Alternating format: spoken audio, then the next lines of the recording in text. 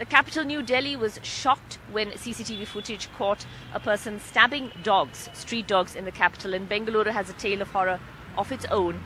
A woman was arrested for killing eight newly born puppies by flinging them across the road onto an empty site. She had said apparently that she was annoyed with the mother dog for having given birth to the puppies in the ditch outside her house. Now that shocked residents, residents contacted animal welfare organizations. CUPA is following up on the case. The woman was arrested and charged with cruelty to animals, but this is a story which has saddened and shocked people, with the mother dog reportedly still going around the area looking for her missing children.